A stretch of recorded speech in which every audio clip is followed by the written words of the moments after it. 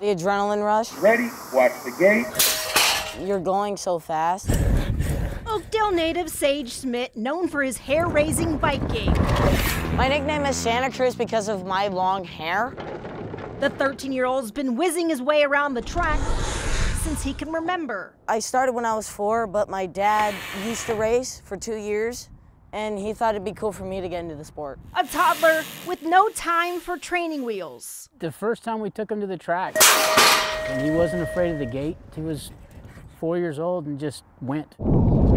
Natural ability that quickly turned competitive, leveling up to expert by the age five. Be aggressive and be the fastest person out here. Racing faster than the rest has become a habit for Sage, and with maximum speed comes strategy. The first person to the first turn is usually 99.9% the winner. That was when I was four. And there's no denying he's had his share of bumps and bruises. It gets physical. I've gotten a concussion. If you're afraid of falling, this isn't your sport. Sage accomplished most of his BMX goals by the age 10 I got bored of the sport. and decided to call it a career in 2014. I'm not going to make him do something he doesn't want to do. I acted, I swam at the Oakdale uh, High School. You always want that kid that's going to dirt bikes and cars and stuff like that. He does the acting that makes his mom happy. He's well-rounded. After a four year hiatus from the sport, Sage realized it was time to get back on the bike, and he's headed for the top.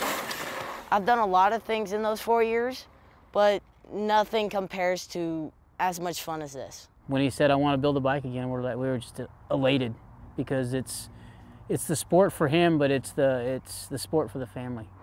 And it's that support that's helped him succeed not just on the track, but with independent study. We were glad to see him reach his goal, and watching the emotion through him just made it all worth it. He's now ranked eighth in the country and recently qualified for Worlds this summer. Plus, it's in Belgium, and I've never been to another country, which also adds to the excitement.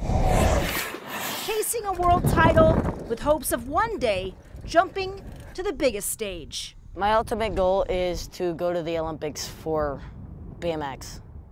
That's the ultimate goal, but starting off at Worlds is a good start. As far as he wants, we'll support him the whole way.